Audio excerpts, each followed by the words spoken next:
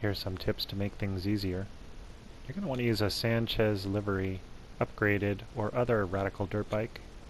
And you're going to want to set your spawn location to the last location. This is critical. You can't spawn vehicles anywhere on the mountain, but if you exit to single player here, or here, and then return to online, you'll be placed in this location and your bike will be right next to you. Here it is on the map. If you're really in a bind, there's a couple stock Sanchez's that spawn at the top of the mountain.